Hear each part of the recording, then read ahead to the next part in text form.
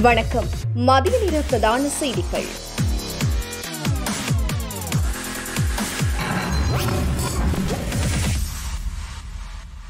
இருபத்தோராம் நூற்றாண்டின் மிக நீண்ட சந்திர கிரகணம் நிகழும் என எதிர்ப்பு கூறல். அடுத்த போராட்டத்திற்கு தயாராகும் கூட்டணி. சாதாரண மற்றும் உயர்தர மாணவர்களுக்கான கற்பித்தல் செயற்பாடு நாளை மறுதினம் ஆரம்பிக்க நடவடிக்கை. சுமந்திரன் உள்ளிட்ட கூட்டமைப்பின் பிரதிநிதிகள் குழு அமெரிக்காவுக்கு விஜயம். இலங்கையில் குழந்தைகள் காப்பகம் ஒன்றில் ஒரே நாளில் ஐம்பத்தோரு பேருக்கு கொரோனா தொற்று. ஓய்வூதியக்காரர்களுக்கான முக்கிய அறிவித்தல். கோவிட் தடுப்பூசியின் பூஸ்டர் டோஸை ஏன் பெற வேண்டும்? வைத்தியர் விளக்கம்.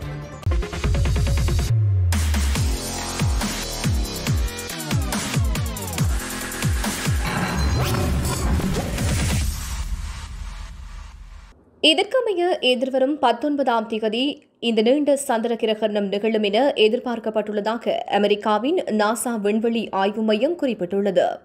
அத்துடன் இந்த சந்திர கிரகணம் மூன்று மணத்தியாலம் இருபத்தி எட்டு நிமிடங்கள் இருபத்தி மூன்று வினாடிகள் நீடிக்கும் என்று குறித்த ஆய்வு மையம் தெரிவித்துள்ளது. அத்துடன் குறித்த சந்திர கிரகணம் நிகழும்போது தொன்னூற்றி ஏழு சதவீதம் நிலவின் மேற்பரப்பு சிவப்பு நிறமாக காட்சியளிக்கும் என குறிப்பிடப்பட்டுள்ளது.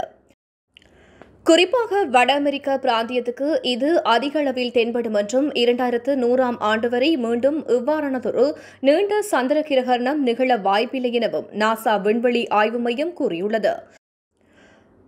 மேலும் அடுத்த வருடம் மே மாதம் பதினாறாம் திகதி மற்றும் மற்றொரு சந்திர கிரணம் நிகழவுள்ளமை குறிப்பிடத்தக்கது. அனைத்து தொழிற்சங்கங்களும் ஒன்றிணைந்து விரைவில் பணிப்புறக்கணிப்பில் ஈடுபட தீர்மானித்துள்ளதாக கனிய எண்ணெய் துறைமுகங்கள் மற்றும் மின்சார தொழிற்சங்க கூட்டமைப்பு தெரிவித்துள்ளது. இதற்கமைய குறித்த போராட்டம் தேசிய வளங்களை வெளிநாட்டு நிறுவனங்களுக்கு வழங்குவதற்கு எதிர்ப்பு தெரிவித்து முன்னெடுக்கப்படுகின்றது. அத்துடன் நேற்றைய தினம் பிற்பகல் ஒரு தொழிற்சங்கங்களுடனான கலந்துரையாடலின் பின்னர் இடம்பெற்ற ஊடகவியலாளர் சந்திப்பின் போதே இலங்கை மின்சார சபை கூட்டு தொழிற்சங்க கூட்டணியின் இணைப்பாளர் ரஞ்சன் ஜெயலால் குறிப்பிட்டுள்ளார். மேலும் குறித்த கலந்துரையாடலில் இலங்கை மின்சார சபை துறைமுக அதிகார சபை இலங்கை கரிய எண்ணெய் கூட்டுத்தாபனம் தேசிய நீர்வளங்கள் மற்றும் வடிகால் அமைப்பு சபை ஆசிரியர்கள் மற்றும் அதிபர்கள் கூட்டு தொழிற்சங்க கூட்டமைப்பை பிரதிநிதித்துவப்படுத்தும் தொழிற்சங்கங்களின் தலைவர்களும் கலந்து கொண்டனர். சாதாரண மற்றும் உயர்தர மாணவர்களுக்கான கற்பித்தல் செயல்பாடுகளை ஆரம்பிக்க நடவடிக்கை எடுக்கப்பட்டுள்ளது. இதற்கமைய நாளை மறுதினம் குறித்த வகுப்புகளுக்கான கற்பித்தல் செயல்பாடுகளை ஆரம்பிக்க நடவடிக்கை எடுக்கப்பட்டுள்ளது. அத்துடன் பத்து பதினொன்று பன்னிரண்டு மற்றும் பதிமூன்றாம் தரங்களுக்கான கற்றல் செயல்பாடுகளை ஆரம்பிப்பதற்கு கோவிட் நைன்டீன் தடுப்பு செயலணி பரிந்துரை செய்துள்ளதாக குறிப்பிடப்பட்டுள்ளது. அவ்வாறு கோவிட் தொற்று பரவல் காரணத்தால் இரண்டு வருட காலமாக பாடசாலைகள் மூடப்பட்டிருந்தது. இந்த நிலையில் வைரஸ் பரவல் கட்டுப்பாட்டுக்குள் கொண்டுவரப்பட்டதை அடுத்து கடந்த மாதம் இருபத்தி ஐந்தாம் திகதி ஆரம்ப பிரிவுகளுக்கான கற்றல் செயல்பாடுகள் ஆரம்பிக்கப்பட்டன. மேலும் எதிர்வரும் பதினாறாம் திகதி முதல் சாதாரணதர மற்றும் உயர்தர மாணவர்களுக்கான மேலதிக வகுப்புகளை ஐம்பது வீத கொள்ளளவில் ஆரம்பிப்பதற்கு தீர்மானிக்கப்பட்டுள்ளது. தமிழ் தேசிய கூட்டமைப்பின் பிரதிநிதிகள் குழு ஒன்று இன்னும் இரண்டு வாரங்களுக்குள் அமெரிக்காவுக்கான விஜயத்தை மேற்கொள்ளவுள்ளதாக தெரிவிக்கப்படுகின்றது. தமிழ் மக்களின் அரசியல் தீர்வு விடயங்கள் குறித்து பரந்த அளவிலான கலந்துரையாடல் ஒன்றினை மேற்கொள்ளும் நோக்கிலே இந்த விஜயம் அமையவுள்ளதாகவும் குறிப்பிடப்பட்டுள்ளது.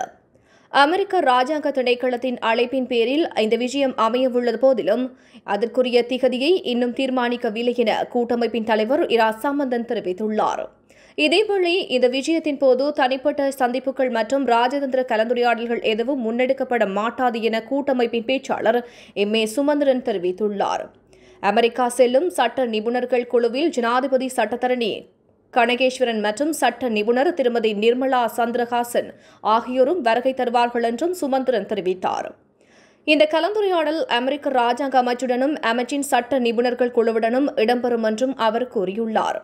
மேலும் சர்வதேச நகர்வுகள் மூலமாகவே எமக்கான பாதுகாப்பை உறுதிப்படுத்த முடியும் என்ற நிலை. உள்ளதனால் அதனை இலக்காக கொண்டு நகர்வுகளை மேற்கொண்டு வருவதாகவும் கூட்டமைப்பின் பேச்சாளர் சுமந்திரன் மேலும் குறிப்பிட்டார். ஐந்து வயதுக்கும் குறைவான குழந்தைகளை பராமரிக்கும் குழந்தைகள் காப்பகம் ஒன்றில் பதினோரு குழந்தைகள் உட்பட ஐம்பத்து ஒரு பேருக்கு கொரோனா தொற்று இன்று உறுதி செய்யப்பட்டுள்ளது.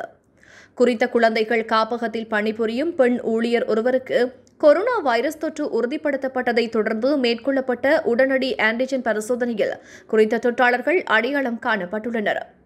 பண்டாரவில சுஜாதா செவன குழந்தைகள் காப்பகத்திலேயே இவ்வாறு கொரோனா தொற்று பாதிப்பு ஏற்பட்டுள்ளது.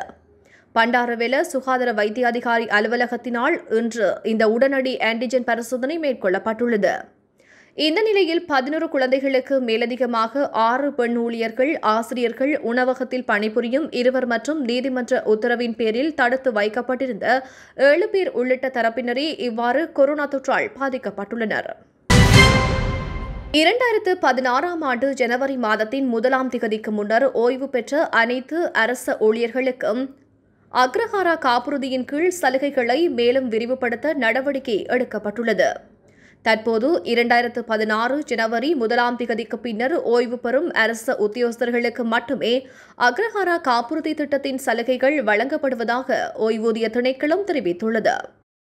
எழுபது வயதுக்கு உட்பட்ட ஓய்வூதியக்காரர்களுக்கு மாத தவணையாக நானூறு மற்றும் எழுபது வயதுக்கு மேற்பட்ட ஓய்வூதியக்காரர்களுக்கு அறுநூறு மாத தவணையாக வசூலித்து இத்திட்டம் செயல்படுத்தப்படும் என்றும் தெரிவிக்கப்பட்டுள்ளது.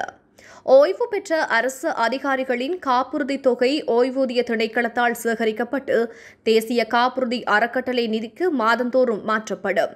அனைத்து அரசு மற்றும் மாகாண அரசு சேவைக்கு உரிய அனைத்து ஓய்வு பெற்றவர்களுக்கும் பொருந்தும் இந்த காப்பீடு திட்டத்தின் பலன்கள் வாழ்நாள் முழுவதும் ஓய்வு பெற்றவர்களுக்கு கிடைக்கும் நிலையில் அவர்களின் மனைவி மற்ற குழந்தைகள் அல்லது ஊனமுற்ற குழந்தைகளுக்கு இந்த சலுகைகள் கிடைக்கப்பெறாது எனவும் குறிப்பிடப்பட்டுள்ளது.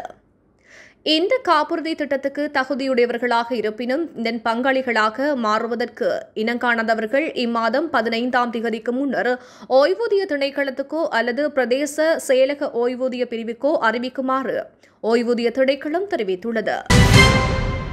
பூஸ்டர் டோஸ் கோவிட் தொற்றின் தீவிரத்தினை தொன்னூற்று இரண்டு வீதம் குறையும். கோவிட் தொற்றினால் ஏற்படும் இறப்பு வீதத்தினை எண்பத்து ஒரு வீதம் குறைக்கும். பூஸ்டர் தடுப்பூசியினை பெற்றவர்களில் வைத்தியசாலைக்கான அனுமதி தொன்னூற்று மூன்று வீதமாக குறைவடைகிறது என மருத்துவர் சி. யமுனானந்தா தெரிவித்துள்ளார்.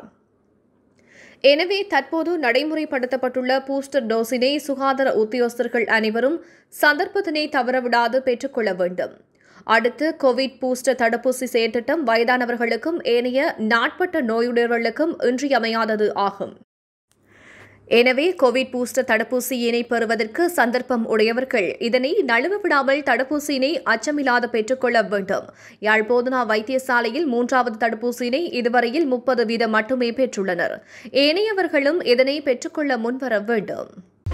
வணக்கம். மதிய நேர பிரதான செய்திகள்.